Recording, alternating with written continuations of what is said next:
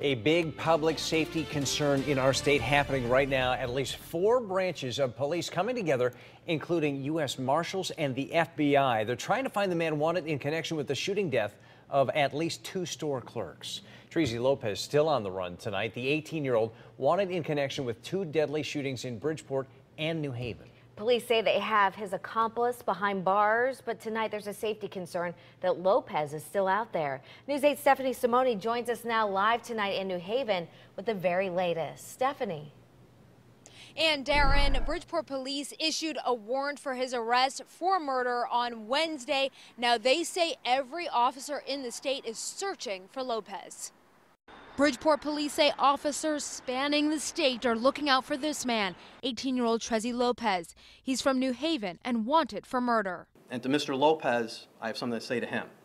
Do yourself a favor. If you're watching this, turn yourself into the police. Police say Lopez was with 22 year old Leighton Vanderberg on Saturday when 57 year old Jose Salgado was shot in the neck and killed.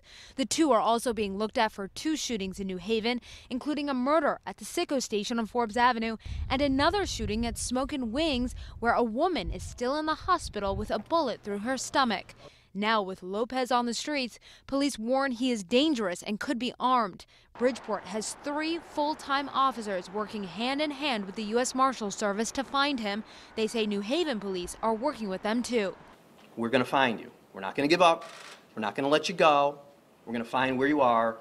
We're going to be arrested and we're going to bring you to justice. Now, police say if you do see him, do not engage him. Just call your local police department. We're live in New Haven tonight. Stephanie Simone, News 8.